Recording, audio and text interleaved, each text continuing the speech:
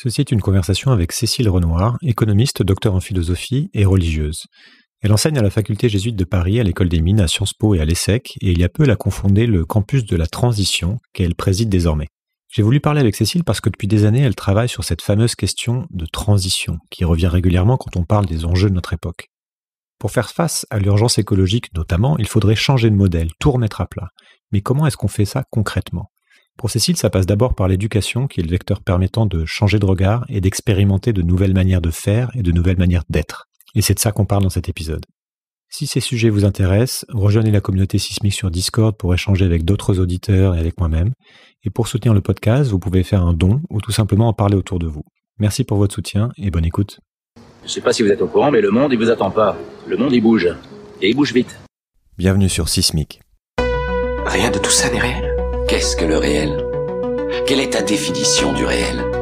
Chaque génération, sans doute, se croit vouée à refaire le monde. Notre savoir nous a fait devenir cyniques. Nous sommes inhumains à force d'intelligence. L'humanité est menacée dans ses fondamentaux. Tu dois trouver dans tes rêves l'avenir pour lequel tu as envie de te battre. Bonjour Cécile. Bonjour Julien. Alors bonne année d'abord. Et, euh, merci, et à vous aussi. Ben merci. Et donc, je suis ravi que vous, que vous soyez ma, ma première euh, invitée de, de, cette année 2022. Donc, parce que nous allons parler ensemble d'un thème ô combien important et qui me questionne beaucoup, qui est, euh, on va parler d'éducation. Donc, à une époque où on sent bien qu'il faudrait repenser ce qu'on qu'on met dans la tête des, des plus jeunes et des moins jeunes d'ailleurs, et la manière dont on le fait. Donc, ce qui est évidemment beaucoup plus simple à dire, à dire qu'à faire, mais donc c'est un thème évidemment central dans, euh, dans ces questions de transition aussi dont on va parler. Alors pourriez-vous d'abord vous présenter brièvement en me disant ce que vous faites, ce qui vous porte, et euh, en gros voilà l'idée c'est de savoir un peu d'où vous parlez comme on dit. Oui, donc euh, ben j'ai différentes casquettes de fait, mais celle qui m'occupe le plus actuellement, c'est celle d'être bah, à l'origine avec d'autres du projet du campus de la transition, dont je suis présidente d'une association qu'on a créée fin 2017 pour euh, contribuer à former à la fois des étudiants, des enseignants-chercheurs, des professionnels aux enjeux de ce qu'on peut appeler la grande transition, donc à la fois écologique et sociale. Et euh, cette, euh, cette, création du campus, eh bien, elle est parallèle aussi ben, aux fonctions que je peux avoir comme enseignante chercheuse dans différents établissements voilà, et notamment à l'ESSEC où j'ai créé, et puis maintenant je suis directrice scientifique du programme CODEV, entreprise et développement, et puis, je suis professeur de philosophie au Centre Sèvres, euh, la faculté jésuite de Paris. Et je donne aussi un cours chaque année à l'école des mines de Paris, ce qui me met en lien avec donc un certain nombre d'étudiants de formations diverses. Voilà, donc, euh, donc à la fois, euh, vous intervenez sur, sur énormément de campus, c'est toujours un peu sur la même tranche d'âge, ceci dit? Oui, plutôt, oui, oui, plutôt les étudiants et plutôt fin de parcours, oui. Voilà, et euh, donc avec un projet aussi dont on va parler, qui est ce, campus de la transition. Avant de nous plonger dans, dans, le sujet, en fait, je voudrais partager aussi avec vous à nouveau ma propre démarche, puisqu'on entame en quelque sorte une nouvelle saison de Sismic et que ma démarche évolue et avance. Je pense que c'est bien aussi de, contextualiser euh, d'où je parle moi. Donc ce que j'essaie de faire, c'est euh, d'une part de poser un diagnostic large sur notre époque et sur ses enjeux, et d'autre part de commencer aussi à ouvrir des, des pistes de réflexion sur bah, sur les réponses qu'on pourrait apporter à ces enjeux. Donc il y a un double mouvement de prise de recul parfois un peu abstrait, voire euh, un peu un télo, comme on, peut dire, ce qui n'est pas forcément négatif d'ailleurs, et aussi de, plus en plus de recentrage sur du concret et euh, des pistes de passage à l'action. Donc on peut s'autoriser dans, cette conversation à naviguer entre ces, deux niveaux, et c'est ce qu'on va faire. Donc je voudrais d'abord commencer par le diagnostic et comprendre quelle est votre grille de lecture. Alors comment est-ce que vous, euh, vous regardez notre époque? Quelles sont les structures, les dynamiques, les grands enjeux qui selon vous sont la définissent? Oui, alors peut-être juste pour prolonger la, la présentation de ma part, pour dire euh, d'où je parle du point de vue des disciplines aussi concernées. Bon, il se trouve que voilà, j'ai fait une école de commerce il y a maintenant euh, plus de 30 ans. Et puis euh, et ensuite je suis rentrée dans la vie religieuse. J'appartiens à une congrégation internationale qui travaille dans le domaine de l'éducation, ce qui fait que j'ai été prof de philo en terminale. Et puis après avoir fait à la fois des études de théologie et puis une thèse en philosophie politique sur les enjeux de responsabilité des multinationales dans les pays du Sud. Euh, donc en fait, en réfléchissant sur les enjeux du, capitalisme mondialisé et sur les critères de responsabilité euh, à la fois individuelle et collective, et notamment du point de vue des acteurs économiques. Donc j'ai j'ai pu développer un programme de recherche à l'ESSEC et puis et puis continuer l'enseignement en philo, mais vraiment la philosophie, on pourrait dire, qui regarde vers l'extérieur, c'est-à-dire qui est en lien à la fois avec l'économie, la gestion, les enjeux de développement, en gros les sciences sociales, et puis de plus en plus la question des, des sciences du vivant. Voilà. Alors euh, du coup, pour euh, peu décrire notre époque, moi je dirais que une, une, expression à laquelle je pense souvent, c'est le fait de danser au bord de l'abîme.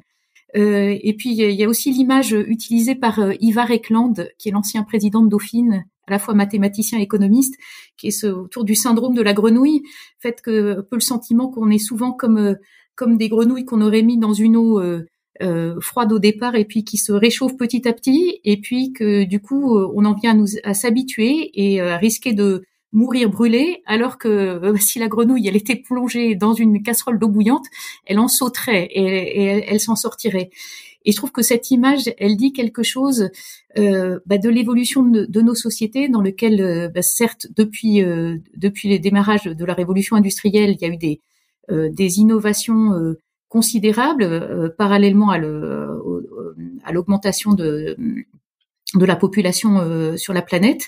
Et puis évidemment, du coup, une tension de plus en plus forte sur les ressources. Et aujourd'hui, une situation euh, dans laquelle bah, on est face à, un défi absolument colossal du point de vue écologique, puisqu'il y a à la fois bah, le, le réchauffement climatique, la perte de la biodiversité, la pollution de l'air, de la, des, mers et des sols, tout ça est, est en jeu dans des sociétés qui sont aussi marquées par des inégalités croissantes euh, aux extrêmes.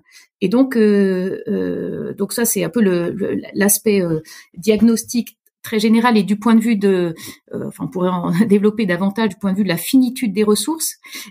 Et puis là-dedans, ben, d'un point de vue social et politique, ben, enfin, un, enjeu à regarder la situation de nos sociétés en prenant en compte les rapports de force euh, et, la difficulté très grande qu'il y a, je pense, d'un point de vue culturel, euh, à faire face euh, à finalement à ces grandes tensions qui traversent toutes nos sociétés et notamment des, des, tensions, je pense, qui ont été accrues par par le libéralisme. Et je peux peut-être en dire un petit mot parce que moi, je, enfin, je trouve que c'est intéressant de réfléchir aux tensions qui traversent des, les sociétés libérales euh, tension bah, liée au fait que bah, le libéralisme, c'est à la fois d'un côté la défense des droits de l'homme, euh, des droits individuels, de, une défense de l'émancipation individuelle, et, euh, et c'est quand même très lié à une réflexion sur la démocratie.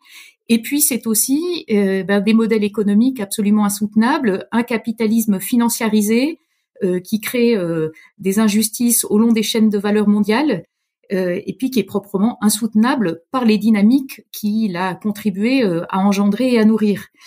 Et du coup, euh, moi j'aime bien enfin souligner qu'il y a finalement trois grandes tensions au sein de nos sociétés libérales. Une première qui est davantage autour des questions, on pourrait dire socio-culturelles, qui est le, à la fois cette aspiration à l'autonomie et en même temps le risque de réfléchir à la liberté en termes d'indépendance, alors qu'il nous faudrait y réfléchir en termes d'interdépendance. Donc une autonomie individuelle ou collective qui va de pair avec la reconnaissance des liens qui nous unissent. Donc ça, je pense que c'est un premier énorme enjeu et qui est, une tension très très forte. La deuxième, elle a trait bah, au fonctionnement de nos modèles économiques et à la fois à cette vision du développement humain, euh, d'un développement euh, ben, qu'on souhaite euh, euh, développement pour, comme certains disent, pour tout l'être humain et pour tous les êtres humains à travers la planète, mais qui va de pair avec une conception à partir, enfin notamment nourrie à partir du 16e, 17e et puis fortement accentuée depuis deux siècles, une, une, conception du développement par la croissance économique et en s'appuyant sur l'idée qu'il y aurait une, des ressources comme disait euh, euh Locke, euh, toujours assez assez de terre et d'assez bonne qualité. Et on voit bien que ben là, on est face à cette finitude des ressources. Donc, il y a vraiment cette tension entre développement, euh, développement sans croissance ou avec une faible croissance, au sens de la croissance du PIB.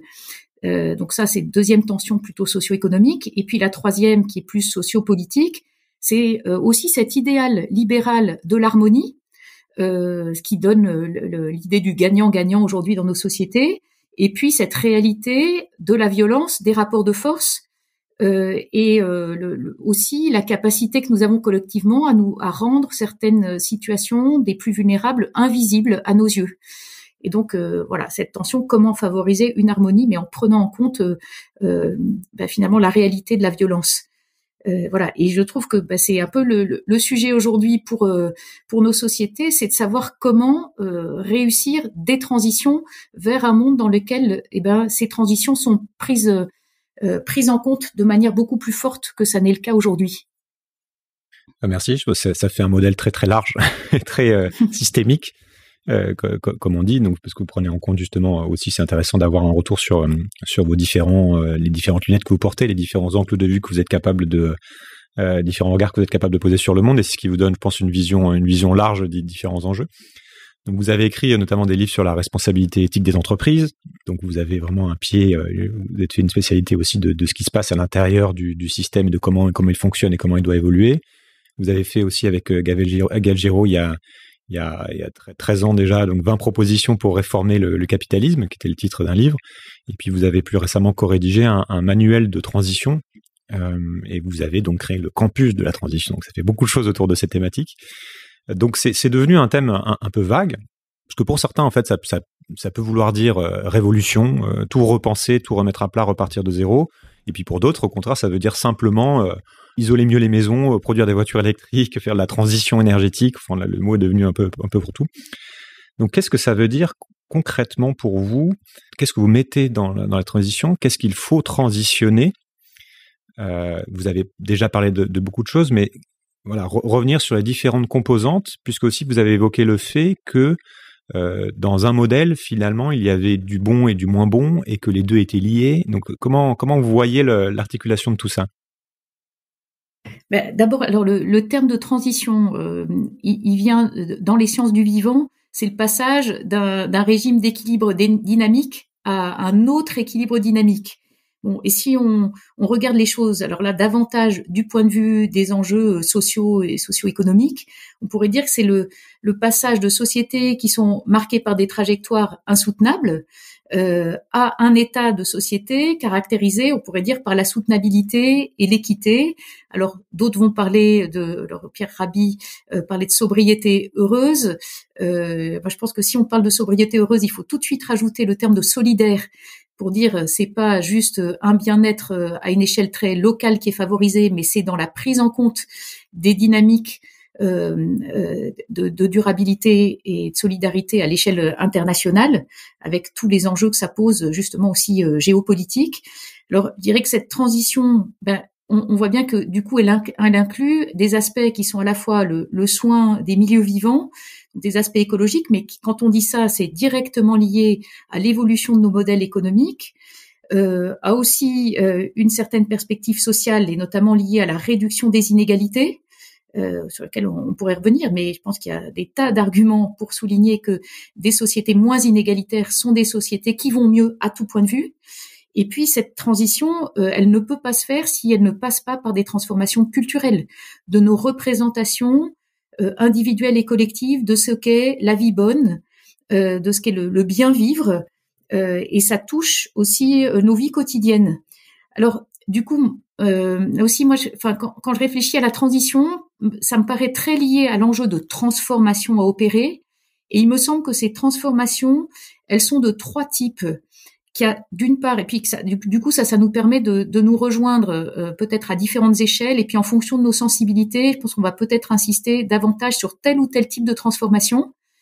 Euh, il y a un premier type de transformation qui touche nos modes de vie, euh, nos, nos, choix euh, quotidiens, personnels ou euh, je sais pas, familiaux, associatifs, enfin au sein d'un collectif peut-être plus plus restreint.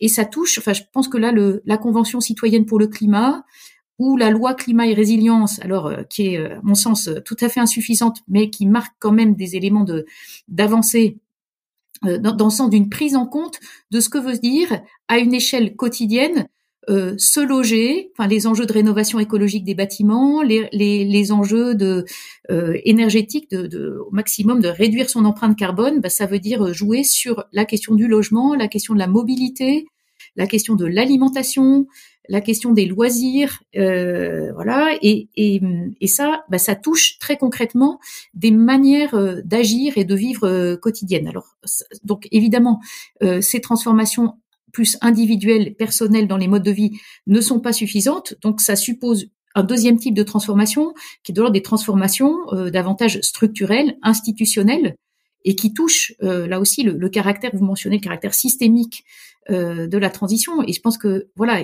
il faut jouer sur plusieurs tableaux à la fois, mais euh, il suffit pas. je pourrais peut-être y reparler tout à l'heure de euh, de regarder du point de vue des, des, modèles des entreprises les normes sociales et environnementales.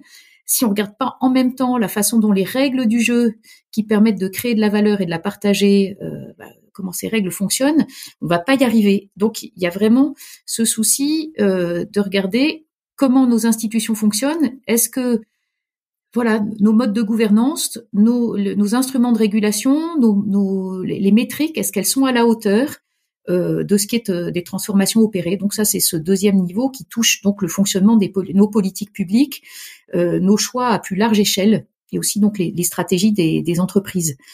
Et puis je dirais qu'il y a un troisième type de transformation qui est une transformation que certains nomment la transition intérieure, euh, qui touche à ce que j'ai évoqué là de la dimension culturelle, euh, mais qui touche aussi cette dimension plus, enfin spirituelle, alors au sens le plus large, euh, c'est-à-dire euh, ce qui a trait à la question du sens, euh, le fait de pas être soumis simplement à des, des dictats extérieurs qui vont nous dire qu'il faut agir de telle ou telle manière, je pense que si on était, euh, enfin, on voit bien du point de vue éducatif, euh, si on est juste soumis à des injonctions, bah c'est pas très porteur. Euh, et ça, je pense que alors euh, du, point de vue de la philosophie morale. Ça, ça, touche au, au débat euh, entre différentes perspectives. Il y a la ligne, je dis souvent que par Kant ou Aristote, c'est un peu le, le, le, bâton et la carotte, c'est-à-dire qu'il nous faut euh, bah, des obligations, définir un peu des obligations, des interdits. Euh, euh, et, et, définir un cadre à l'intérieur des limites à l'intérieur desquelles euh, nous faisons des choix et nous développons des activités, mais on a tout autant besoin de la carotte, c'est-à-dire de euh, valeurs partagées, d'un horizon souhaitable qu'on définit ensemble pour pouvoir se représenter justement des trajectoires vers cet horizon désirable. Et ça, ben, je pense que la, transition intérieure, ben, elle nous permet justement de nous représenter différemment ce qui est souhaitable pour pouvoir euh, nous y inscrire et puis trouver de quoi euh, avoir de l'énergie pour se lever chaque matin. Euh, merci encore d'avoir d'avoir reposé ce, ce cadre. C'est intéressant d'avoir ces, ces différents niveaux. Comment on fait ça en fait? Quels sont en fait les, les grands leviers ou les grands freins? J'en ai quelques-uns en tête hein, que je peux citer. Il y, a, par exemple le fait que ce soit déjà, on soit sur des problématiques, notamment quand on parle de problématiques écologiques, est, on est sur des problématiques qui sont mondiales. Donc c'est-à-dire qu'on a un frein qui est qu'on n'a pas de, euh, de, on s'entend très très mal à un niveau mondial, on n'a pas tous les mêmes intérêts, on n'a pas euh, n'a pas tous la même vision du monde, etc. Donc euh, quand même on arrive à changer ça au niveau d'un pays, ça ne résout pas le problème au niveau mondial. Et puis on a un autre frein qui va être le rapport de force. C'est-à-dire qu'on parle de changer de culture, mais aujourd'hui on a une culture qui qui est extrêmement dominante et qui va pas du tout dans dans, dans ce sens-là en fait, avec aussi des, des moyens financiers, technologiques qui vont qui vont dans le sens opposé quels sont les, euh, freins que vous avez en tête et où est-ce qu'on a le début, ne serait-ce qu'en théorie, d'un plan en fait de pour adresser euh, ces différentes choses-là? Merci pour cette question, qui est pas évidente parce que parce que justement les, choses sont imbriquées. Alors je rejoins complètement ce que vous ce que vous avez décrit comme de, deux énormes freins, euh, voire obstacles, hein, euh, à, ces transitions, à ces transformations opérées.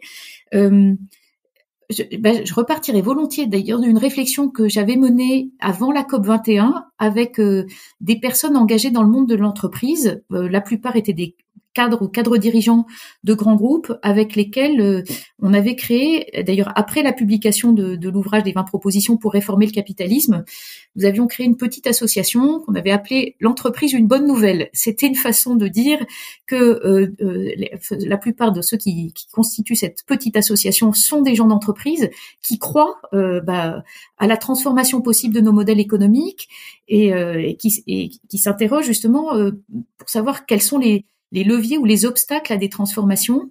Et euh, ce qui m'avait beaucoup frappé dans l'écriture, enfin, on a, on a, réfléchi pendant un an et demi pour écrire, d'ailleurs, finalement à trois, mais c'était le fruit de la discussion avec euh, une quinzaine de personnes.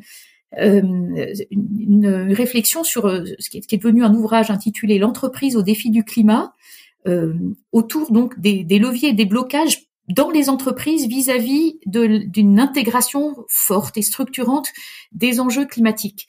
Et si je résume finalement le fruit de nos échanges et euh, ceux, qui, participaient à ces échanges représentaient différents secteurs industriels notamment ou financiers, eh bien, euh, au fond, ce qu'ils soulignaient, c'est que bah, certes, il y a des blocages que vous avez mentionnés, euh, technologiques, financiers, mais eux estimaient que finalement les blocages les plus importants étaient des blocages finalement d'ordre politique, éthique, voire spirituel, c'est-à-dire qui touchent justement ces, dimensions culturelles euh, et cette incapacité que nous avons parfois ou régulièrement à penser hors du cadre. Et, euh, ça, cette expression... Euh, les croyances limitantes entre guillemets.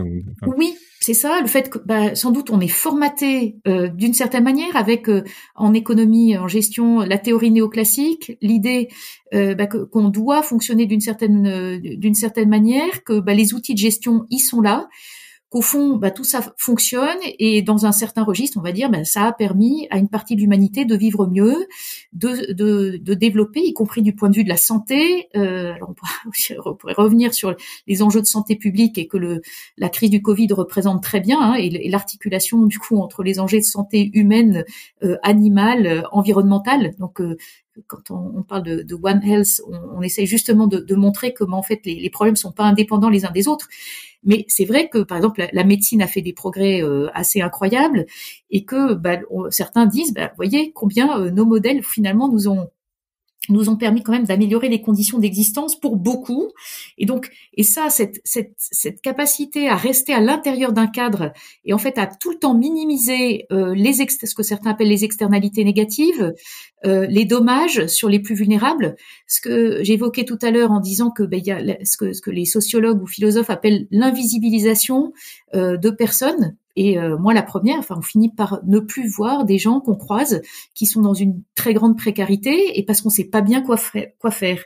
Et du coup, je, voilà, il me semble que c'est travailler sur euh, bah, sur ce qui est lié à la dimension éthique, c'est-à-dire la capacité à cultiver un esprit critique et autocritique et là, euh, je trouve parfois qu'on a tendance, en critiquant le, la, la, période des Lumières, à peu risquer de jeter le bébé avec l'eau du bain. Et là, euh, je trouve que, par exemple, les réflexions de Castoriadis, à la fois psychanalyste, euh, économiste et philosophe, très intéressantes parce qu'il soulignait combien, euh, ben, voilà, on risque, en voulant, en critiquant les le capitalisme et en assimilant toute la pensée libérale euh, à, une, enfin, la, la, perspective capitaliste, on risque de ne pas faire droit à ce qu'ont apporté aussi à la fois les, les, penseurs des Lumières, reprenant aussi d'ailleurs des traditions de la Grèce antique, de la capacité à s'auto-critiquer. Et ça, euh, euh, bah, je pense que c'est fondamental et finalement un levier, je, je pense, alors, euh, qui rejoint évidemment les enjeux éducatifs, c'est cette capacité à euh, aller à la racine des problèmes, à prendre du recul et à réouvrir finalement les choses et à se dire que parfois on se laisse coincer dans nos manières d'aborder les questions et peut-être faire un pas de côté, déplacer notre manière habituelle de considérer euh, les, choses, les événements, les situations peut nous aider à réouvrir et euh, à favoriser en fait de la créativité certains parlent de l'imagination morale comme étant euh, un des moyens par lesquels euh, on peut essayer de, faire bouger les choses. Euh, peut-être pour être concrète, je peux prendre un exemple lié à, la vie des entreprises. Il me semble que, enfin, on peut, enfin, et puis c'est une très grande difficulté pour les acteurs économiques, évidemment, c'est qu'on est souvent, enfin, quand on est un chef d'entreprise euh, soit d'une PME, d'une TPE, et qu'on doit se dire euh, tous les mois il y a à verser des salaires, euh, c'est très compliqué de se de, penser un peu hors du cadre et des contraintes dans lesquelles on est pris. Mais ben, on peut aussi se, se, dire qu'il y a un horizon qui est l'horizon d'une entreprise qui est la, plus cohérente possible par rapport à ce que certains appellent les frontières planétaires et, euh, et en, essayant de déterminer bah, ce que serait un plancher social et un plafond environnemental à respecter. Et ça, il y a pas mal d'études qui sont faites pour euh, souligner combien, euh, voilà, il y a des minima. Alors bon, je pense que la France est un des pays dans lesquels il y a des minima sociaux, euh, justement une, une volonté de, euh, de, de faire droit à ce plancher social du point de vue des entreprises. Il y, aurait sans doute à aussi réfléchir à des plafonds, notamment quand on, on réfléchit aux, aux échelles de, de, rémunération ou autres. Euh, pour éviter des effets pervers du fait que parfois c'est aussi l'État euh, qui verse des compléments en matière sociale alors que les entreprises pourraient sans doute euh, augmenter le, niveau des bas salaires et éviter que l'État complète par des aides. voilà, ça c'est voilà dans les réflexions un peu justement plus systémiques à mener, il y a, il y a tout ça. Et puis plafond environnemental, de prendre conscience de ce que ça veut dire que de réduire l'empreinte carbone ou l'empreinte écologique dans un certain nombre de domaines. Et là, il y a tout un tas d'études qui, qui sont faites avec des moyens très concrets qui sont proposés à la fois euh, à des étudiants des euh, mondes de, de, de, l'enseignement ou à des, à des praticiens, des professionnels d'entreprise pour repérer bah, les leviers en termes de réduction énergétique, de euh, alors ce qu'on va appeler l'économie circulaire, l'économie de fonctionnalité, ces modèles qui permettent de créer de la richesse mais de, de réfléchir à ce qu'est cette richesse qu'on crée et ensuite euh, d'avoir aussi des éléments de, de, de, réflexion pour un partage plus équitable et du coup euh, pour assurer euh, une, une, pérennité de ces, de ces modèles. Et, et du coup, quand on, on commence à essayer de regarder l'activité économique en se disant mais au fond, qu'est-ce que c'est qu'une entreprise? Eh ben, on va pouvoir interroger non seulement euh, certains éléments qu'on va ensuite euh, qualifier sous, avec le terme de RSE, de responsabilité sociale de l'entreprise, mais qui risquent euh, de faire droit à des mesures euh, très, enfin souvent très ponctuelles ou qui ne traitent pas les problèmes en profondeur. Si on commence à réfléchir en se disant, ben voilà le rôle de l'entreprise dans la société et, et l'entreprise, ben, si on la, on commence à la définir en disant, ben c'est un projet collectif financé au moyen du profit, euh, projet euh, bah, dont on doit vérifier qu'il n'est pas euh, contradictoire avec le respect des frontières planétaires, bah, ce genre de définition pourrait être la définition de la société commerciale qui permettent de réviser, bah, notamment par exemple les, les, articles 1832 et 1833 du Code civil, qui jusqu'à maintenant consistent à dire qu'une entreprise, ce sont des personnes qui s'associent pour faire du profit. Et là, euh, je donne cet exemple-là parce que depuis une quinzaine d'années, il y a eu pas mal de réflexions qui ont été menées pour justement proposer des transformations, alors dans le contexte juridique français, mais aussi anglo-saxon, transformation de la définition de la société commerciale. Et ça, c'est vraiment essayer d'aller à la racine des problèmes. Et du coup, euh, voilà, pour changer les choses, je crois que on a besoin de un esprit critique et autocritique qui nous permet de de regarder la manière dont fonctionnent nos institutions par rapport aux grands enjeux euh, planétaires et donc euh, avoir un diagnostic bien posé, donc s'appuyer aussi sur euh, les, recherches menées par que ce soit les chercheurs du GIEC ou l'IPBES sur la biodiversité, etc. Et puis de se dire bah, comment ça, ça se décline en termes de transformation de nos instruments, de, de, des lunettes finalement qui nous permettent de regarder la, la réalité d'une façon ou d'une autre? Euh, bah merci aussi de poser, poser des exemples et je pense qu'on pourra aussi en prendre d'autres. Si je reprends un peu le diagnostic, donc vous faites partie de, de, ceux qui pensent qu'effectivement on a un des enjeux de l'époque qui est lié à cette idée de limite, qu'on est en train de dépasser, que ça crée tout un tas de problèmes. Donc ça rejoint la pensée aussi de bah, d'un certain Denis Minos qui est, que j'avais reçu ici aussi, euh, qui en parle depuis 50 ans notamment. Pas que lui évidemment, que euh, ce dépassement des limites est entre autres euh, créé par la manière dont fonctionne le système capitaliste aujourd'hui, extractiviste. Enfin il y a plein de mots à coller dessus et que la, la croissance aussi qui fait qu'on va euh, prendre de plus en plus de choses, rejeter de plus en plus de choses pour faire court. Et si je vous comprends bien aussi, vous estimez que ce système finalement est réformable en changeant des règles, en changeant des, en faisant du politique, en changeant des règles de fonctionnement des entreprises, et que ça aussi ça se fait en commençant par changer ce qu'il y a dans la tête des gens, les structures mentales, pour ne, ne serait-ce que démontrer que c'est possible à faire. J'ai reçu pas mal de gens dans ce podcast qui, ont plutôt tendance à croire que finalement, ça n'est pas vraiment réformable. Et que de faire ça, en fait, de jouer à l'intérieur du, euh, du système et de dire que c'est en faisant quelques, quelques lois, qu'en changeant, euh, euh en regardant, en faisant de la RSE, etc., qu'on va, on va pouvoir arriver à faire ça, c'est se leurrer. Et vous connaissez cette mouvance. Il y a beaucoup de gens qui commencent à, à, penser qu'en fait, soit il faut complètement se débarrasser du capitalisme, soit même si on met un autre système, ça n'y arrivera pas, et que donc il faut se préparer à la résilience, etc., etc. vous vous inscrivez à l'intérieur du système, et d'ailleurs, vous enseignez à des enseignants dans des écoles de commerce, à Sciences Po, etc., donc qui sont de toute façon à l'intérieur du système. Vous avez une vision qui est de dire que le capitalisme est réformable, peut, peut changer, ou alors c'est autre chose J'ai mal compris?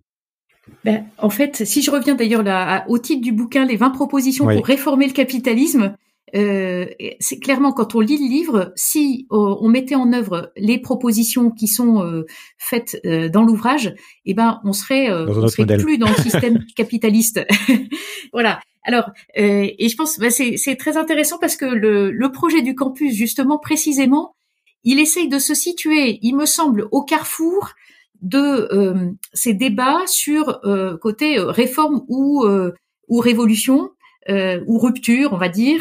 Et si je reprends euh, par exemple ce que le, le penseur Olin Wright euh, proposait, il soulignait que pour, euh, enfin en fait, il y a, y a peut-être trois grandes manières d'envisager les transformations, qui sont les chemins de justement de la rupture, de la réforme et du travail aux interstices.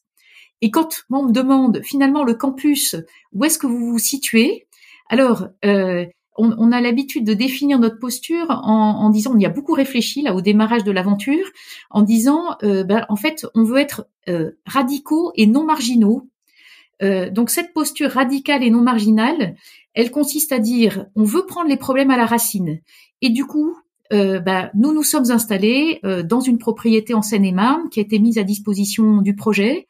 Euh, on était six au départ à habiter euh, bon un, un, château euh, voilà qui est une vraie passoire énergétique qui est à la fois un peu un très beau cadeau et puis qui est en même temps un peu empoisonné parce que voilà il faut trouver les moyens de rénover écologiquement ce bâtiment et en tout cas c'est un très bon terrain de jeu pour essayer de voir ce, que représente le fait en termes de réduction de l'empreinte carbone de passer d'une empreinte de 10 tonnes en moyenne en France par habitant et par an à une empreinte de moins de 2 tonnes. Et du coup, nous, on essaye très concrètement, et ça, c'est le côté assez radical, de se dire, ben voilà, comment est-ce qu'on fait en termes d'énergie euh, Donc, ça veut dire le chauffage, la rénovation des, des, bâtiments, les choix de mobilité, les choix d'alimentation, euh, le, le, type, euh, là encore, de, euh, de, de, loisirs qu'on occupe, la, manière de, de, vivre sa vie quotidienne. Donc, il y a une vraie dimension ben, expérimentale, oui. Il y a une vraie dimension d'expérimentation sur, sur ces différents aspects qui sont absolument clés. Et on est évidemment tout à fait conscient que ce travail et cette expérimentation à une échelle très locale, elle est tout à fait insuffisante. Donc on peut dire en un sens, elle est un peu aux interstices du système. Elle va et, elle permet de réfléchir justement, à mon avis, et du côté de la, de la réforme et du côté de la rupture. Et, euh, et de voir ce que ça et, et parmi nous, je pense qu'il y en a certains qui sont dans une logique et une sensibilité davantage du côté de la rupture, qui disent mais au fond nous, on veut pas retourner euh, bosser dans des grandes entreprises ou dans des entreprises qui sont euh, en fait euh, bah, paradigmatiques bah, de ce qu'il faut arrêter de faire. Et donc, ils font des choix là très radicaux pour voilà qui passent au campus et qui se disent bah, ensuite je vais aller vivre dans un village, essayer de développer des logiques citoyennes à une échelle très locale, de voir comment favoriser ce maillage territorial euh, développer bah, toute, ces, toute, cette euh, dynamique de résilience individuelle et collective. Et puis on en a d'autres qui sont avec une sensibilité davantage réformiste, qui, qui, qui disent mais oui c'est bien gentil, mais en fait on n'y arrivera pas, et surtout en prenant en compte euh, les rapports de force à l'échelle internationale, les questions géopolitiques, si on n'agit pas aussi sur le cœur du réacteur en essayant de transformer les règles du jeu, mais pas des réformettes. D'être, quand j'évoquais la, la, nécessité de euh, euh, de changer l'article 1832 du Code civil, c'est aller bien au-delà de la réforme de l'article 1833 qui a été euh, qui, qui, a, qui, a, été adopté avec la loi Pacte bah, et qui qui dit juste il faut considérer les enjeux sociaux et environnementaux. Là, il s'agit de dire faire en sorte que le profit euh, soit euh, qu'on ne permette la profitabilité et sous condition de respect des frontières planétaires. C'est-à-dire qu'il faut, il s'agit de définir très clairement les lignes rouges du point de vue social et environnemental et de développer des activités économiques là-dedans. Et ce qui correspond en fait aux perspectives économiques portées par les mouvements euh, qui sont les mouvements coopératifs, les mouvements liés à l'économie sociale et solidaire, etc. Et donc, pour moi, c'est vraiment, enfin, c'est de l'ordre de la réflexion stratégique se dire c'est illusoire de croire qu'on va pouvoir y arriver en étant uniquement en rupture. On a absolument besoin de réformes, mais de réformes extrêmement profondes.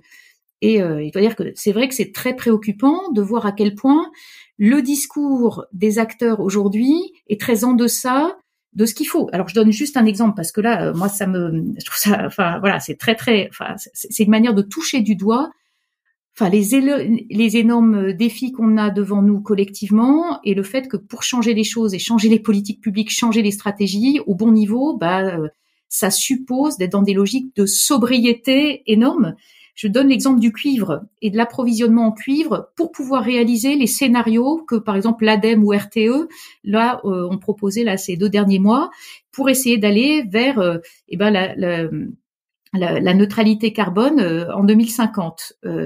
Euh, eh ben, ça veut dire que si, on est sur des scénarios, les, scénarios proposés du tout renouvelable ou du renouvelable et nucléaire, euh, ça signifie que la France aurait besoin, selon les scénarios, de 5 à 10% de l'approvisionnement mondial de cuivre chaque année d'ici à 2050 sur la base de la production de 2015. 5 euh, à 10% uniquement pour le réseau électrique. Et si on regarde ce qu'il faut pour les voitures électriques, on rajoute 12 à 19% supplémentaires. Ça veut dire qu'on est sur une logique de 20 à, que la France, pour réaliser ces scénarios, elle utiliserait chaque année 20 à 30% de la production mondiale annuelle.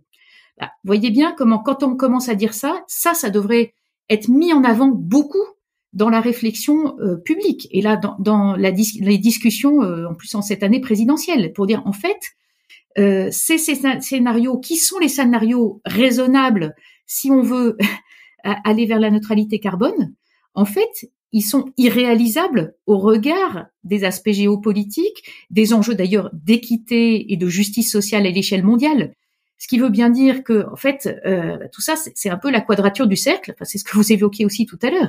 Dire que ça suppose d'être dans des logiques de décroissance euh, et décroissance choisie pour un certain nombre, ceux d'entre nous qui sont la partie de la population euh, avec un mode de vie euh, qui, qui, qui, qui, lui permet de faire des efforts et de, de et de changer, d'être dans une logique de sobriété. Je suis pas en train de parler pour les gens pour lesquels c'est la la sobriété contrainte et la très grande précarité.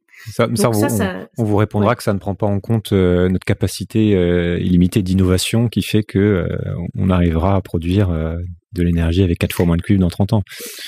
Oui, voilà, peut-être, mais en tout cas là, pour l'instant, là, le 2050, c'est quand même, c'est très très proche, et, et c'est dans les dix années qui viennent que les trajectoires doivent être vraiment transformées. Voilà, donc euh, on, voit bien que la, voilà, je, pense que le, là le discours en faveur de la sobriété, euh, c'est un discours qui est incontournable. Bah, je vais rebondir un peu là-dessus et puis ça va nous faire une bifurcation vers euh, vers plus centrée sur l'éducation, puisque ce qui va être, assez incompréhensible quand on entend ça, c'est de se dire mais pourquoi on fait des plans comme ça, on en parle en sachant que a priori on n'a pas les moyens de les réaliser. Et là, on parle que de la problématique des ressources, parce qu'il y a évidemment plein d'autres choses qui rentrent en, jeu, euh, euh, à commencer par euh, le coût, etc., etc.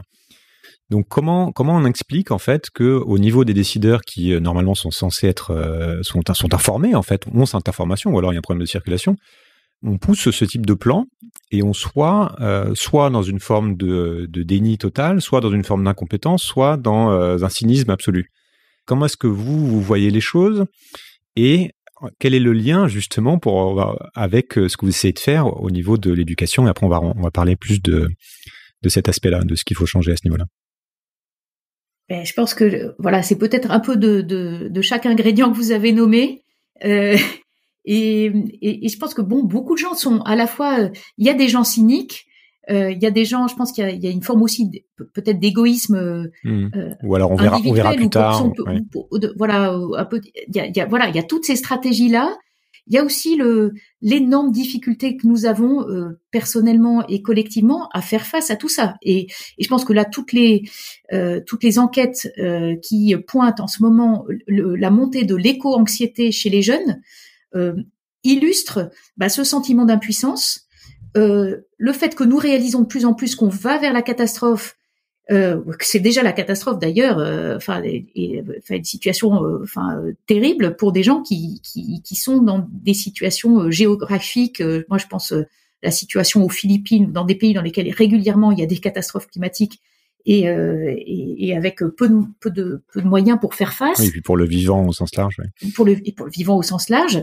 Donc il y a tout ça, et c'est vrai que enfin, quand on commence à regarder les choses de près, ben, je dois dire, euh, moi, je, je, reconnais que même cet été, euh, euh, j'avais écouté Aurélien Barraud dans une conférence à l'X euh, avant l'été, et je dois dire que j'ai rêvé trois fois de l'effondrement euh, pendant l'été en me disant, mais pourtant moi qui baigne entre guillemets là-dedans, et eh ben finalement ces chiffres, euh, je finis par m'y habituer.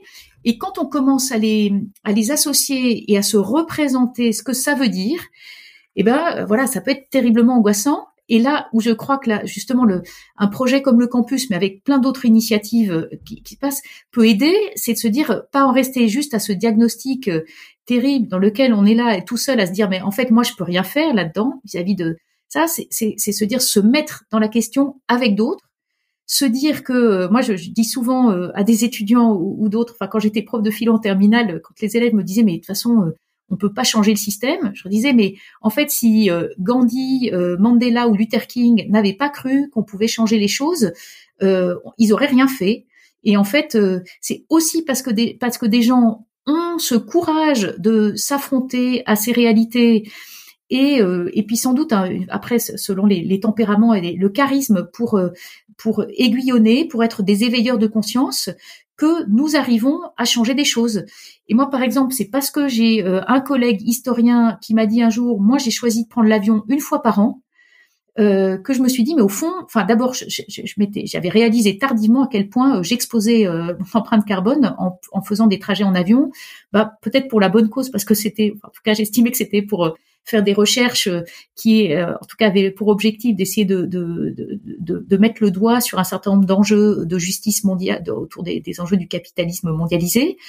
Mais ça m'a fait prendre conscience que peut-être je pouvais procéder un peu autrement que parfois c'est pas non plus du tout ou rien et qu'on peut être personnellement et collectivement sur des trajectoires dans lesquelles nous sommes davantage lucides, euh, euh, mais, mais, tout ça sur, sur, des trajectoires sur lesquelles nous, nous, nous, opérons des choix personnels, mais avec d'autres et avec euh, une meilleure conscience collective des ordres de grandeur en jeu et des véritables leviers. Et je pense que ça, ça manque quand même beaucoup un certain nombre.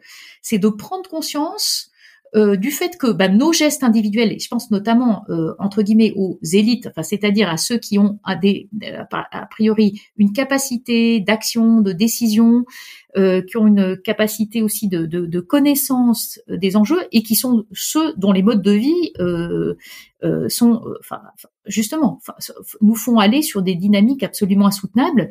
Ceux-là, parfois, euh, bah, ils se rendent pas compte que, bah, certes, c'est bien d'être écolo bobo dans Paris, par exemple, mais si on va prendre l'avion plusieurs fois dans l'année pour aller à l'autre bout de la planète euh, se détendre, en fait, euh, ça, ça va pas changer les choses fondamentalement. Donc, euh, et, ça, ça, ne nous aide pas collectivement à repérer qu'en fait, la sobriété, ça passe vraiment par des choix en termes de mobilité, en termes de, de, en, termes d'accès à des, des, bâtiments plus écologiques, etc. Des, des choix vraiment différents et qui ensuite vont se traduire en termes de politique publique. Donc, tout, ça pour dire que finalement, il y a à la fois ces prises de conscience à opérer en travaillant sur nos émotions, aussi sur nos représentations, sur en acceptant euh, bah, de, faire face à nos peurs, à, euh, à nos colères, peut-être à nos sentiments d'impuissance, et se dire que nous pouvons euh, bah, travailler là-dessus et ensemble, à partir de là, trouver comment changer de regard et changer de cap surtout. Et donc, et là, c'est vrai que là, il y a des enjeux éducatifs euh, énormes. Oui, alors bah, par, par, parlons éducation, et, je vous rejoins euh, tout à fait sur cette idée justement que c'est un des, plus gros freins entre guillemets, c'est cette euh, ce sentiment d'impuissance, c'est-à-dire que même quand on les, les, petits gestes, on a l'impression que ça ne, ça ne compte pas. Je ne sais pas d'ailleurs hein, si à quel point Apple Coin ça compte. Et moi personnellement, j'ai pas d'avis tranché là-dessus. Je ne fais que poser des questions.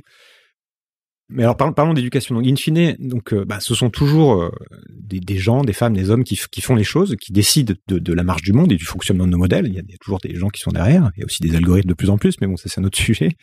Et le, postulat de départ, donc, c'est de dire que si on éduque différemment euh, les, gens, les cerveaux, alors le monde pourra devenir autre chose, puisque les, actions, la vision du monde sera différente, les actions sont différentes, etc. Donc vous travaillez dans, ce milieu-là de, depuis longtemps, vous enseignez. Euh, vous êtes au contact de, des étudiants. D'abord, je voudrais savoir, moi je ne suis pas du tout, quels sont les, comment en fait les, les jeunes gens de, de, de vingtaine d'années que vous croisez voient aujourd'hui euh, l'époque et quelles sont justement les grandes questions qu'ils se posent? Est-ce qu'il y a cette, est-ce que vous voyez justement cette génération climat dont on parle émerger ou alors pas du tout, ça reste complètement minoritaire? Bon, après, il y a, l'expérience que j'ai, alors qui est forcément un peu biaisée parce que j'ai plutôt tendance euh, à avoir devant moi des étudiants euh, assez motivés, oui. euh, bon, et conscients des problèmes et, et, enfin, et d'ailleurs enfin, très très préoccupés. Euh, bah, de, la, de la meilleure manière d'agir en fait. Ils se demandent bah, comment est-ce qu'on agit à la hauteur des enjeux, comment est-ce qu'on peut faire changer les choses, euh, quelles règles du jeu euh, est-ce qu'il faut changer, quels récits aussi promouvoir, bien conscient qu'il suffit pas de que les règles du jeu seules sont, sont insuffisantes parce que là encore ça rejoint la question des, des injonctions. Euh, euh ça, ça, ça, ça, mobilise pas les foules, ça. Et puis euh, peut-être aussi euh, beaucoup sont aussi très préoccupés de savoir comment est-ce qu'on prend en compte tout le monde et puis euh, de se dire pour eux-mêmes, en tout cas ceux que je vois passer au campus, ou, ceux que maintenant dans le dans le, les, les, le travail en réseau qu'on peut mener avec des étudiants de différents établissements, euh, à la fois universités, euh, écoles de commerce, d'ingénieurs, etc. Et, beaucoup se disent bah, comment est-ce que je vais participer à ce changement Enfin, quels critères me donner d'orientation? Et puis et puis au fond derrière, est-ce que c'est réalisable? Et là, je, je repense euh, là d'ailleurs à des, à des conférences que j'ai données il y a un mois pour des, des étudiants de BTS. Euh, et, et, alors, ces étudiants, là, je, euh, à, la, fin d'une séance de deux heures, il y en a un qui me dit bon, tout ça, c'est bien. Et mais il dit mais il dit mais au fond vous, est-ce que vous y croyez quoi? Est-ce que vous croyez qu'on va y arriver? Et je dois dire que bah, quand on est là face à cette question-là, eh ben, on se dit et qu'est-ce que je réponds? Parce que il y a un côté de se dire bah, au fond lucidement il y, a une part de moi qui se dit si je suis honnête, euh, je vais dire c'est c'est euh, on est dans une situation de une sorte quand même d'impasse et critique et en fait je ne sais pas si on va y arriver. Mais euh, alors là si je reprends d'ailleurs l'expression de Guillaume d'Orange, il n'est pas nécessaire d'espérer pour entreprendre ni surtout de, de réussir pour persévérer. En fait ce qui compte tout autant c'est le chemin c'est les chemins à prendre. Et là, pour ça que je, je, je, je cite souvent Mandela ou, ou, Gandhi ou Luther King parce que parce que je trouve que ces figures et puis ça, euh, on peut se donner d'autres euh, aussi d'autres figures inspirantes de gens avec les dont dont on se dit bah en fait euh, la bonne question à se poser c'est moi qu'est-ce qui me qu'est-ce qui donne du sens? Et surtout, si on se dit qu'on va pas y arriver, on va pas y arriver. C'est-à-dire, et, et, et, du coup, il y a aussi une, une méthode que euh, que j'aime bien utiliser là, qui est que j'avais découverte quand j'avais passé euh, quatre mois au Schumacher College, qui est une petite institution euh, dans le Devon, dans le sud de l'Angleterre, qui a été créée il y a une trentaine d'années et, qui a quand même pas mal inspiré le, le, la création du, du campus. Euh, au, Schumacher, on, on, reprend pas mal cette, cette vision des trois horizons, qui est une méthode de, de Bill Sharp, l'ancien le, directeur de la recherche de HP, et, euh, et qui lui, enfin, c'est une, une méthode en fait très simple à comprendre, assez intuitive et qui je trouve permet justement de rejoindre ces questions que se posent les jeunes et d'autres euh, en disant finalement qu'est-ce qu'il faut faire et quelle trajectoire emprunter? C'est précisément se dire bon, définissons, enfin regardons quel est notre H1, l'horizon 1, c'est aujourd'hui, en gros les contraintes, le monde dans lequel on est. Et puis regardons le H3, l'horizon 3, c'est-à-dire ce monde qu'on a envie de voir advenir. Et donc rêvons. Je pense que alors euh, moi je suis pas forcément euh, euh, très féru de science-fiction, mais je pense que là aujourd'hui il y a il y a plein de, récits de science-fiction, de, de, de, films qui sortent, qui peuvent nous aider, alors soit en termes d'utopie ou de dystopie, à nous représenter un monde souhaitable ou au contraire le monde qu'on n'a pas du tout envie de voir advenir. Et ça, c'est une manière de définir ce H3 alors, euh, il y a aussi Jean-Pierre Dupuis, qui parlait du catastrophisme éclairé. Alors lui, en disant, bah, en fait, se mettre face à la catastrophe et puis tout faire pour éviter qu'elle ne se produise. Ça veut dire ensuite être sur les H2. Le H2, c'est les trajectoires qui nous font passer du H1 au H3. Et ce que souligne euh, Bill Sharp, c'est dire en fait, euh, en termes de discernement collectif, une fois qu'on s'est mis d'accord sur du H3, et ce qui n'est d'ailleurs pas forcément si évident que ça, hein, euh, mais peut-être on peut dire qu'à l'échelle internationale, bon, on a la COP 21, l'accord de Paris sur le climat, ou, euh, ou les, les, objectifs du développement durable, bon, qui eux-mêmes, on pourrait euh, en parler parce que si on voulait les réaliser, je pense qu'entre eux, il faut regarder aussi de, de, de, près les tensions qui les traversent. Mais enfin, on peut se dire qu'il y a une espèce de récit lié aux, aux ODD d'un monde, en tout cas, dans lequel où, où, où on voudrait qu'il fasse bon vivre pour nos générations et les générations futures. Bon, donc disons qu'on s'est mis d'accord sur un certain H3 avec ce que ça représente en termes de justement neutralité carbone en 2050, etc. Ensuite, toute la question, c'est les discernements sur le H2 et est-ce que c'est, comme dirait Sharp, c'est du H2 plus ou du H2 moins? Et le H2 moins, c'est le greenwashing, c'est en fait en gros, c'est tout, tout changer pour que rien ne change. Le H2 plus, c'est vraiment regarder de très près ces trajectoires opérées en se disant, ben voilà, il y a peut-être un premier pas qui nous met ensemble dans une démarche qui va nous permettre d'aller plus loin. Et du coup, quand je j'essayais de répondre à cet étudiant en lui disant, ben, est-ce qu'on va y arriver? Dire, en fait, je sais pas, mais euh, on va tout faire pour y arriver. Et il y a des choses à faire, et il y a de plus en plus de gens qui proposent ces scénarios H2+, et qui nous donnent des moyens, euh, des ressources à mobiliser pour pouvoir y parvenir. Et du coup, ça, ensuite, bah, ça engage une certaine vision éducative, à la fois sur les contenus, mais aussi sur les méthodes, les, euh, les pédagogies à mettre en œuvre, justement, pour euh, enclencher ces dynamiques collectives. Alors parlons, parlons bah, de, concrètement de, des systèmes éducatifs et des, des différentes méthodes.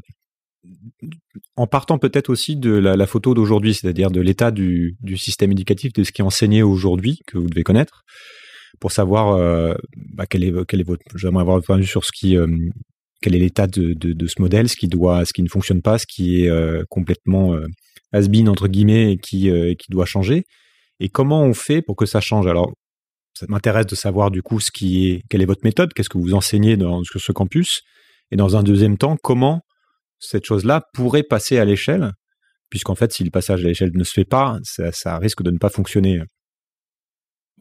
Ah oui, alors c'est exactement l'objectif du campus.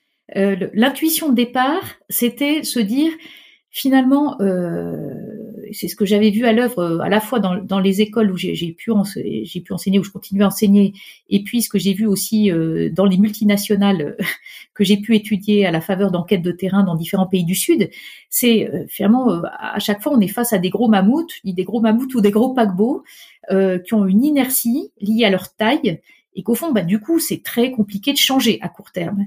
Et je me suis dit, finalement, est-ce qu'en créant une petite institution plus agile, est-ce qu'on ne permet pas de, favoriser euh, l'expérimentation justement de modèles éducatifs qui soient euh, davantage à la hauteur des enjeux et puis qui permettent d'aiguillonner ces euh, gros mammouths?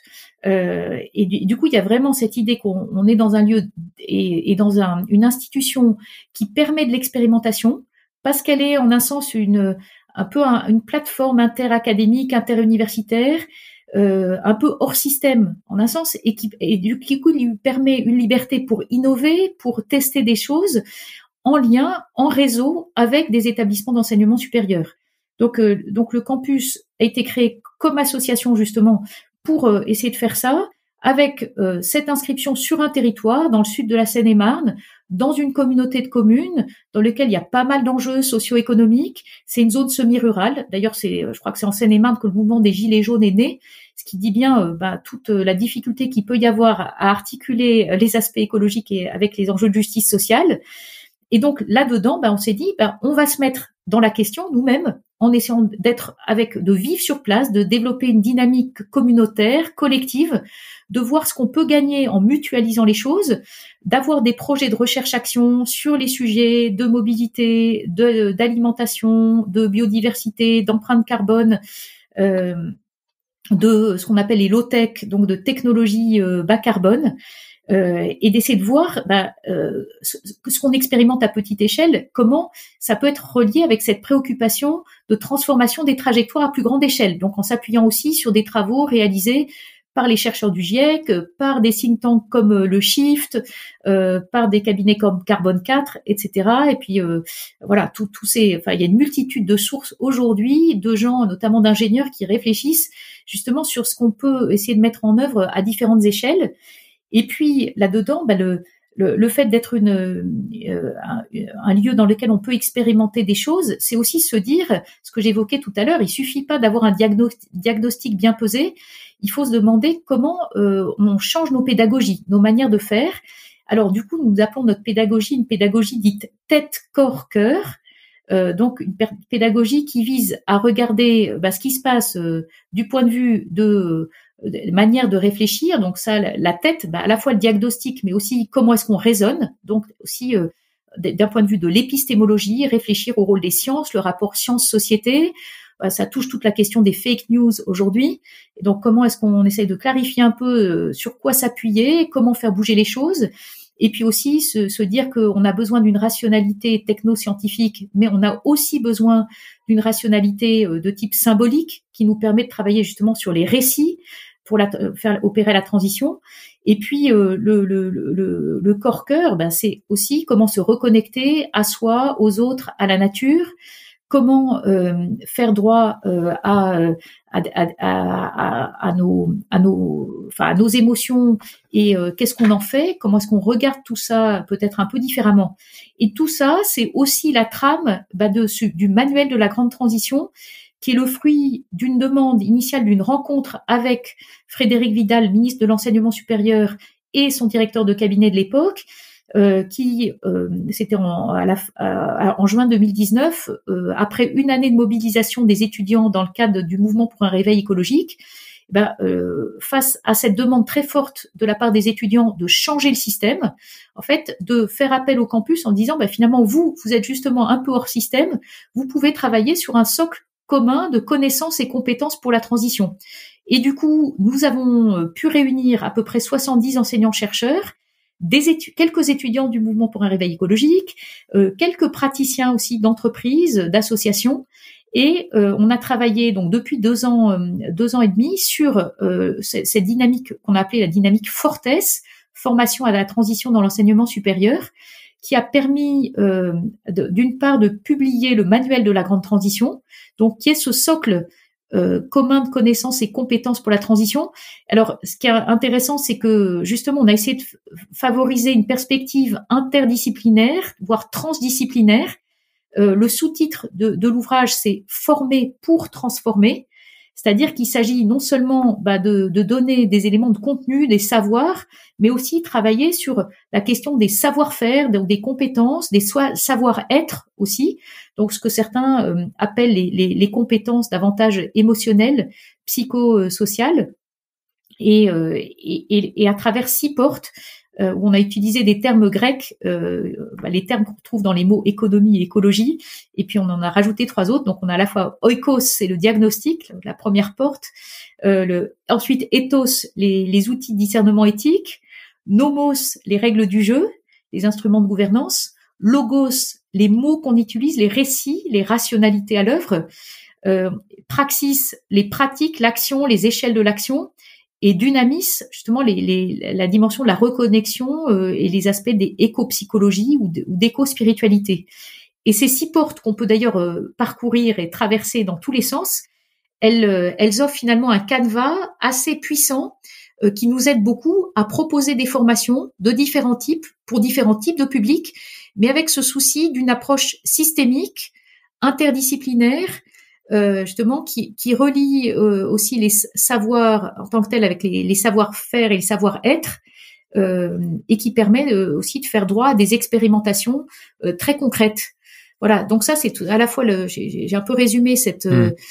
cette perspective du campus et puis je, je termine juste sur le la, la dynamique la fortesse sur le en, prolongement du manuel, on a maintenant une, une collection, euh, toujours euh, d'ailleurs chez l'éditeur Les Liens qui libèrent, une collection maintenant de petits manuels de la grande transition. Il y en a deux qui, qui sont sortis il y a deux jours, euh, qui sont le, manuel Pédagogie de la transition et le manuel Transformation des campus. Ce sont deux petits manuels donc sur des perspectives transversales. D'un côté, bah, qu'est-ce que ça veut dire mettre en œuvre des pédagogies de la transition? euh, notamment pour le monde de l'enseignement supérieur, mais ça vaut de façon beaucoup plus large. Euh, je pense que ça, ça, peut être utile euh, pour des acteurs divers qui, qui se demandent comment peut-être favoriser des, pédagogies justement qui, qui intègrent les différentes dimensions de la personne et qui sont peut-être moins descendantes, même si on fait droit aussi à, l'apport des savoirs en tant que tel, mais c'est-à-dire comment est-ce qu'on on permet une, approche aussi un peu on va dire politique de, de, de ces enjeux de, de, pédagogie et de transition. Et puis le, le, le, petit manuel transformation des campus, bah, il va très concrètement sur ce que veut dire euh, mettre des campus en transition du point de vue euh, très matériel, du point de vue de l'inscription dans les territoires, et puis avec tout ce que ça pose comme question du point de vue du fonctionnement actuel de l'enseignement supérieur en termes d'évaluation des, enseignants, des chercheurs, euh, en termes de, cursus euh, à transformer. Euh, voilà. Et puis ce, ces deux petits manuels vont être suivis, puis je, je m'arrête ensuite par euh, euh, dix petits manuels qui ont essayé de travailler euh, avec une perspective interdisciplinaire, mais reliée à telle ou telle discipline. Donc, euh, par exemple, petit manuel sur les, sur le, sur les aspects de santé publique qui va sortir, euh, je crois, d'ici un mois en librairie, et puis un autre sur les questions de gestion, un autre sur les questions sur sciences humaines et sociales, sciences du vivant, voilà. Et, euh, et, on a travaillé avec des enseignants-chercheurs de ces disciplines-là, mais qui, qui, qui, avaient tous le, pour objectif de, de faire le lien justement avec euh, cette dimension euh, euh transversale euh, que représente la question écologique et sociale. Donc c'est de l'enseignement, de la recherche, de l'expérimentation, enfin de la recherche via aussi de l'expérimentation un peu à la marge, comme vous l'avez dit, puisque c'est euh, hors de système et donc ça permet aussi d'avoir une liberté. Donc ça fait partie de ces structures qui sont certainement aussi euh, indispensables et qui peuvent euh, venir nourrir des, euh, des, des réformes peut-être dans les années à venir. Euh, je, je, reprends la deuxième partie de, de, de, la question précédente, qui était comment est-ce que ça peut percoler en fait? Comment est-ce que les grandes institutions qui forment ce qu'on appelle les élites de demain, enfin les dirigeants de demain, donc les Harvard, les HEC, ESSEC, Polytechnique, Oxford, etc., peuvent euh, avoir une chance de se, de se réformer en, de cette manière-là. Et ça peut être aussi formulé la question différemment. C'est en gros, demain, vous êtes ministre de l'Éducation nationale. Quelle est la stratégie et le plan d'action? Qu'est-ce qui doit être euh, euh, réformé? Et comment on fait pour que ça ne coince pas, sachant que je rappelle aussi qu'en même temps, le niveau d'éducation en France est effondré en 20 ans dans tous les classements internationaux et que donc on a aussi la baignoire fuite partout déjà. Donc c'est si cette ça vient bien illustrer la problématique qu'on a, c'est qu'on doit en même temps maintenir un modèle qui est en train de, de, de péricliter, enfin voilà, il y a un niveau d'urgence à court terme, et penser la transition. Alors je vais, vais peut-être euh, me centrer surtout sur les, les, ce que je connais mieux, c'est-à-dire la réalité de l'enseignement supérieur. Oui, bien sûr. Aujourd'hui, même si évidemment euh, ce que vous évoquez, c'est réfléchir à, euh, aux, réformes nécessaires dans l'éducation nationale euh, depuis euh, la maternelle. Oui, non, mais sur le supérieur. par le, le, le, collège et le lycée. Voilà. Et, euh, et, et, de fait, d'ailleurs, euh, il y a quand même des choses qui sont en train de bouger pour inscrire euh, des, des, des, cours obligatoires sur les questions climatiques et autres dans les enseignements, notamment au lycée.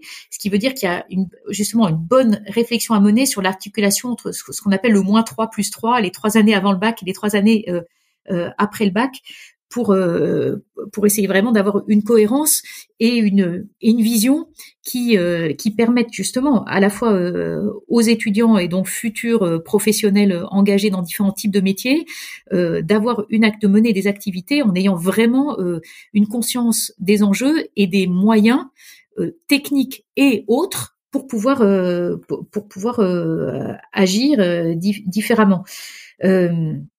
Alors moi je dirais, euh, enfin c'est évidemment c'est une, question. c'est si c'était très simple, ça se saurait et euh, et, et, on, et, euh, et, on aurait clairement en tête justement les, les trajectoires H2 si je reprends le, la méthode. Non, bien sûr, mais peut-être que vous avez déjà identifié des gros leviers. alors voilà, dans les leviers, bon, ça c'est un peu ce qu'on essaye de faire avec le campus, en lien, alors d'ailleurs avec un groupe qui a été mis en place au, au niveau, la plus, un groupe institutionnel piloté par Jean Jouzel, euh, dans lequel participent à la fois des enseignants-chercheurs de différentes disciplines et puis euh, des représentants de la conférence euh, des grandes écoles, de la conférence des présidents d'universités, des syndicats étudiants et des syndicats de, de, sur les, universitaires, des représentants aussi des réseaux, des associatifs intéressés par les questions climatiques et environnementales. et donc ce, ce, ce groupe dit groupe Jouzel a déjà publié un rapport. Il y a des préconisations qui sont faites et le, le, campus, d'ailleurs comme le, le, Shift, sont participent à ces réunions pour pouvoir essayer de, de, favoriser justement le plus possible euh, un, un, bon maillage et, euh, et, essayer de faire en sorte que des initiatives qui sont un peu à côté du système de l'enseignement supérieur puissent être intégrées le plus possible dedans.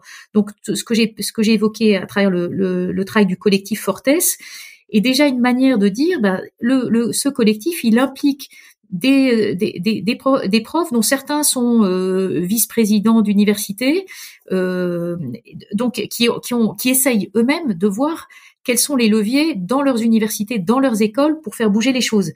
Alors, euh, ce qui est certain, et ça, on peut reprendre des études qui avaient été faites, alors ne serait-ce que sur les questions d'énergie-climat, là, le, le rapport ClimaSup du Shift il y a euh, quelques années pointait le fait que euh, là, le, pourcentage euh, d'étudiants qui recevaient euh, un, cours euh, sur les questions euh, énergie-climat était très faible dans les écoles d'ingénieurs et les écoles de commerce. Bon, je pense qu'il y, aurait à dire qu'il y, y, a des cours qu'il faudrait imposer une forme de tronc commun qui permettent d'avoir une vision de ces grands enjeux écologiques euh, euh, en prenant en compte les enjeux de climat, de biodiversité, d'épuisement des ressources, euh, etc. Des, cours obligatoires pour tous les étudiants, quelles que soient les disciplines considérées. Et puis, euh, pour moi, ce qui, enfin, ce qui devrait aller de pair, c'est un cours euh, qui, qui, interroge justement la question éthique, donc un cours plus de, de, de philosophie qui permette euh, de, de, faire droit à l'articulation euh, entre les questions, justement, le, ce que, ce que j'évoquais tout à l'heure à travers les questions d'épistémologie, les questions politiques aussi, et qui permettent de favoriser cet esprit critique qui relie les domaines, les savoirs, qui favorise le décloisonnement. C'est quand même un des grands problèmes aujourd'hui. Et ça, euh, il y a des initiatives aujourd'hui euh, qui, voient le jour pour, proposer ce type de choses. Euh, là, je reviens sur ben nous, le, au campus, on a une, une convention sur trois ans avec l'université de Cergy pour accompagner ceux de l'université qui essayent précisément de faire évoluer les cursus commençant par euh, cursus dans une école d'ingénieur, qu'est-ce qu'on peut mettre en place? Évidemment, là, dès qu'on commence à regarder bah, ces grosses institutions, on voit que c'est pas simple, même s'il y a une volonté euh, politique mmh du président de l'université euh, de, de, faire bouger les choses. Ensuite, évidemment, il y a plein de contraintes de tous ordres qui font que bah, ça, ça, ça se fait pas du jour au lendemain. Mais, euh, mais ce qui est sûr, c'est que s'il y avait bah, en fait des préconisations à une échelle, euh, à l'échelle de l'enseignement supérieur. Et puis, euh, euh, là aussi, je pense qu'on ne fera pas sans une mobilisation des profs. Donc ça, on, voit bien que ensuite, c'est donner peut-être des éléments, des briques, et, et, voir comment on intègre des briques transversales, obligatoires, dans des cursus variés, et en donnant aussi une forme de liberté à des enseignants-chercheurs de différentes disciplines pour pouvoir aussi intégrer ça dans les cursus. Et alors évidemment, en valorisant le fait que euh, que ça soit euh, que ça soit fait, alors qu'aujourd'hui, malheureusement, on valorise très peu l'interdisciplinarité euh, des pédagogies innovantes dans la manière dont on évalue euh, les enseignants, les, les chercheurs, etc. Donc tout ça, il y a du travail. ça, ça, ça ouais, il y a du boulot. ouais. On arrive sur les, questions de fin. Je voudrais parler d'un thème que j'ai très peu abordé. Donc, je sais que la, religion est au, cœur de votre vie. Donc, vous avez dit vous êtes religieuse de, l'Assomption.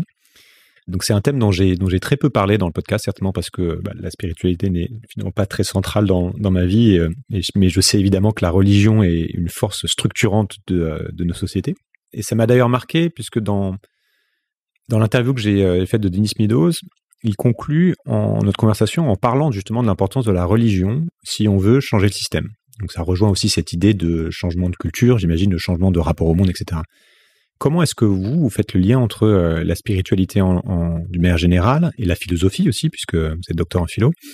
Comment vous reliez ça avec, euh, avec ce dont on vient de parler, avec l'idée de transition et plus largement avec les enjeux de l'époque? Oui, merci pour cette, euh, pour cette question. C'est vrai que pour moi, je dirais que mon engagement euh, religieux, chrétien, il est indissociable de ce combat pour la justice.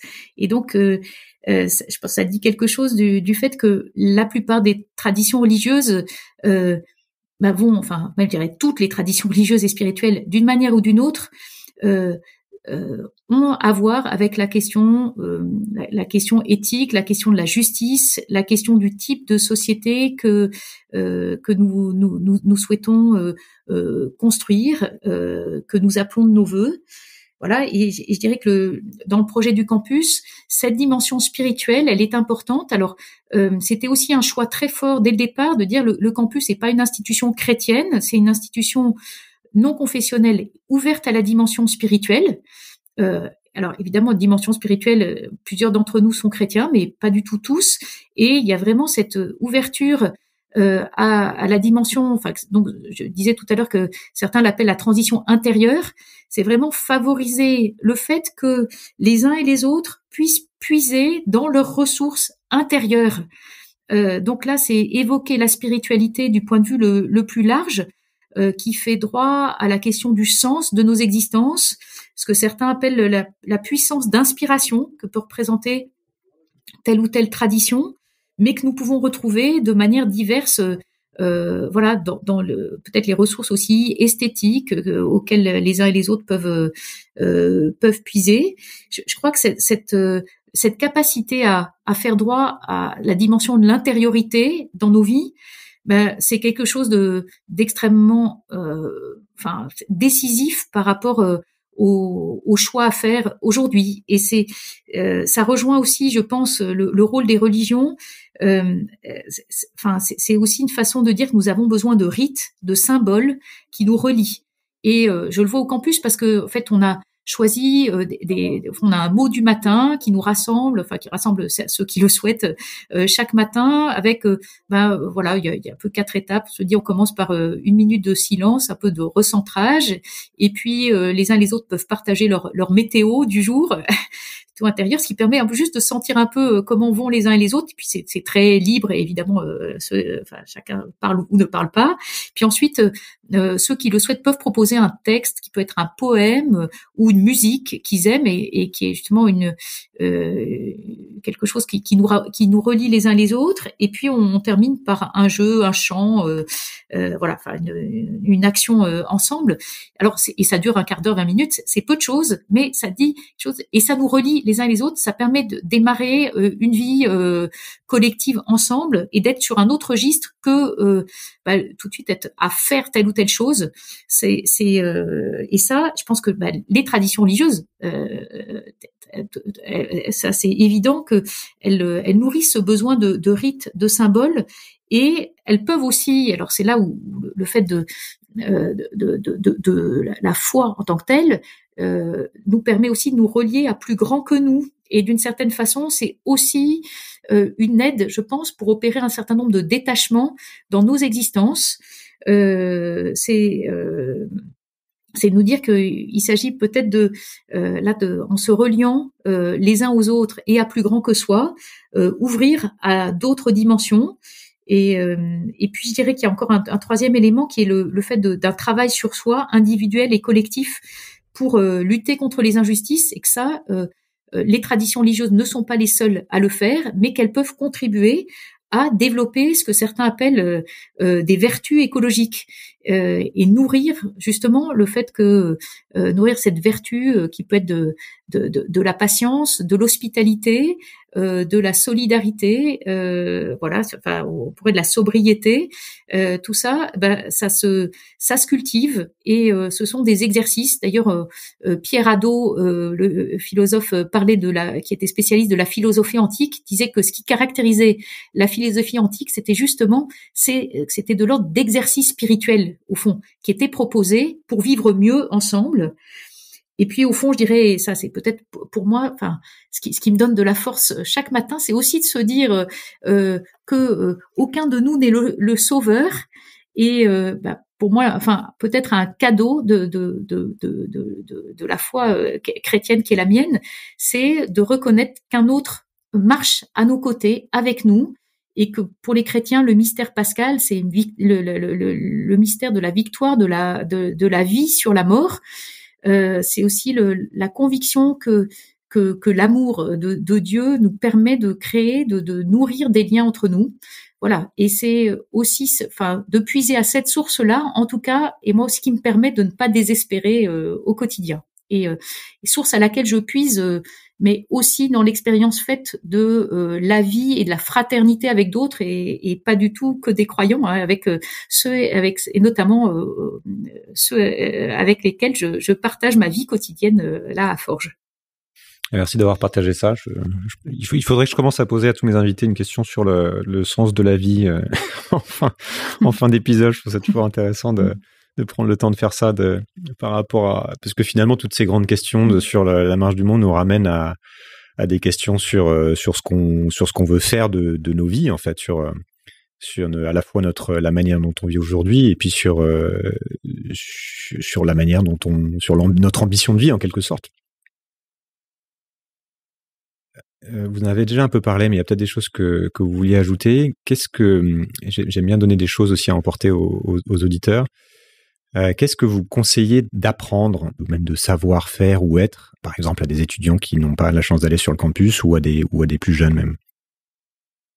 Alors, euh, je dirais c'est euh, déjà de pas de pas être seul à, à, mariner dans, des questions euh, qui parfois, enfin justement, qui, qui, qui, pourraient nous faire euh, euh, avoir une politique de l'autruche, quoi, et de, vouloir les escamoter parce que ça nous fait trop peur et qu'on n'a pas envie de les voir. Donc je dirais être avec d'autres porteurs de même d'un même questionnement et du coup nourrir ce questionnement alors après, euh, c'est pour ça que j'allais dire euh, lire le manuel de la grande transition. Alors pour mm. ceux qui, aiment bien dire, alors c'est un peu euh, un pavé, mais alors il y a aussi des, on a fait des résumés sur, je pense qu'il y a différentes vidéos. Dans je mettrai tout ça en référence sur le. voilà, on traite, mais parce que je, trouve que ces six portes euh, souvent, moi, je les, je, je, je, je les, je les décris très brièvement quand je fais des interventions, et puis je demande aux gens de dire, ben, vous spontanément, quelle est votre porte d'entrée? Et c'est très intéressant de voir que même avec un public qui peut apparaître assez homogène, par exemple public d'étudiants de l'ESSEC, là, l'été dernier, eh ben, les six portes étaient représentées. Donc, ça veut dire que pour certains, c'est la praxis, la pratique, euh, voilà, l'agir, le faire qui va être leur manière d'entrer sur ces sujets. Euh, D'autres, ben, ça va être au contraire le diagnostic, comment ben, on lit le dernier rapport du GIEC euh, ou le, les scénarios de RTE, et ça nous éclaire. Pour d'autres, ça va être l'indignation éthique, en fait, et euh, qui va être un moteur, et le fait de réfléchir aux composantes du bien vivre. Euh, voilà. Pour d'autres, ça va être euh, lire, je sais pas, voir un documentaire ou, lire un, bouquin et, et, développer un narratif qui va le mettre en mouvement. Et du coup, je dirais, moi, le conseil, ce serait de se dire, ben voilà, essayez d'identifier quelle est votre porte d'entrée privilégiée et essayez de décloisonner les choses aussi et peut-être de faire l'exercice de passer par les autres portes ou en tout cas de vous laisser inspirer par les gens qui sont justement des gens qui vont être eux des enfin davantage motivés par telle ou telle façon de fonctionner. Et je crois que, enfin, moi, je trouve que c'est ça qui est euh, très très chouette, c'est de voir que on n'a pas tous les mêmes euh, sensibilités euh, à ces sujets, pas les mêmes manières de voir les choses, et que c'est, en fait, tout ça est très complémentaire. Qu'en même temps, parfois, on risque de s'enferrer dans une manière de voir qui nous peut nous donner des œillères. Donc, c'est voilà, faire ce avoir ce souci de décloisonner les choses, de, de, passer par des chemins qui sont pas les nôtres habituellement. Et ça, je crois que ça donne à la fois, euh, enfin, c'est une, très grande richesse. Ça, ça, ça élargit notre capacité aussi à nous émerveiller d'un certain nombre de choses qui, qui bougent, qui existent. Et du coup, je pense que ça peut nous donner des éléments euh, supplémentaires pour aller de l'avant. voilà, je dirais Ok, ah, merci beaucoup. Ça, c'est, rigolo parce que c'est un peu, euh, j'ai l'impression que c'est un peu ce que j'essaie de, de faire avec le podcast. En fait, c'est un peu ma démarche d'essayer de oui. faire ce travail d'empathie en regardant comment pensent les autres. Euh, et c'est, c'est, quand on commence à le faire, on se rend compte aussi à quel point bah, il y a différentes manières de penser, différentes, y compris avec ceux avec qui on n'est pas du tout d'accord et qu'on comprend pourquoi en fait ils pensent comme ils pensent. Mm. Ça donne euh, de la hauteur de vue et ça, ça vient souvent nous pousser à suspendre notre jugement en moins temps et à écouter quoi. Dernière question classique, est-ce que vous avez deux livres que vous conseillez de lire absolument dans, sa vie? Mais, euh, question difficile. En général, c'est la question la plus difficile. difficile voilà.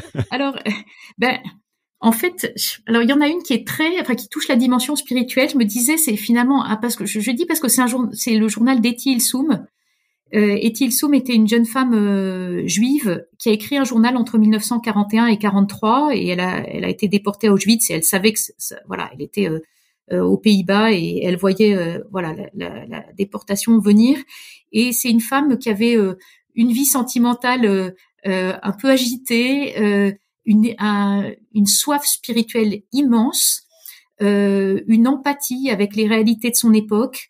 Et, et je trouve que bah, lire son, son journal aujourd'hui peut nous donner, peut nous faire énormément de bien. Enfin, et, et, et, comme moi je le conseille souvent à des étudiants ou, ou à des personnes euh, bah, dont je vois que, en fait, ils ont une quête spirituelle, pas forcément dans dans le cadre de, des traditions religieuses, euh, euh, voilà, bien établies. Je trouve c'est un c'est c'est un texte magnifique et euh, et un refrain chez Tilsoum, c'est la vie est belle, mais c'est d'ailleurs parfois elle ajoute la vie est belle dans son absurdité, telle pour peu qu'on on y ménage de la place à tout. Et je trouve voilà, c'est ça aussi qui peut nous aider euh, à ne voilà à, à, avancer chaque jour, jour après jour, euh, avec la, la, la, prise de conscience ou la, la, conscience parfois très aiguë de notre fragilité, de, de, de, de, nos vulnérabilités individuelles et collectives. Donc ça, ça serait un premier un premier texte. Et puis le deuxième, bah, j'ai pas mal parlé du manuel, mais franchement, je pense que le, manuel avec les six portes sur peut être une façon de, nous faire faire des parcours, d'inventer des, trajectoires à différents niveaux, euh, qu'on soit praticien, qu'on soit étudiant, qu'on soit prof dans tel ou tel domaine. Et du coup, je pense que comme ça, ça a été aussi un, un travail euh, collectif, partagé, je pense mmh. qu'il a une, une, grande richesse. Donc, euh, il ouvre beaucoup de portes. Voilà. Donc, euh, je, je, je, voilà, ce serait aussi ma suggestion. Un roman peut-être? Alors un roman, euh, disais, dans les, pareil, les, romans, il y en a euh, pas récemment, peut-être Guerre et paix de Tolstoï pour revenir à des classiques, mais choses qui, qui font droit aussi à si la variété des sentiments qui habitent le, le, cœur humain, euh, aussi à ces euh, voilà à l'ambiguïté des motivations des personnes et en même temps euh, euh, à ce travail de vérité qu'on peut faire les uns avec les autres et en même temps enfin le côté épopée et mmh. ce le roman monde et, ce, et de monde voilà entrer dans des mondes parfois qui sont voilà qui, qui sont pas les nôtres mais qui nous aident à, à nous représenter les défis aussi qu'on a à traverser aujourd'hui. Merci beaucoup Cécile. Ben merci Julien. Voilà, c'était donc une conversation avec Cécile Renoir. J'espère qu'elle vous aura inspiré d'une manière ou d'une autre. Si vous voulez gagner le dernier livre de Cécile dont on a parlé à plusieurs reprises et aussi les livres des invités à venir, abonnez-vous au compte Instagram de Sismic ou rejoignez la communauté Discord dont je vous ai déjà parlé. Pour finir, je vous laisse avec deux citations. Une sur la transition par un certain Albert Einstein.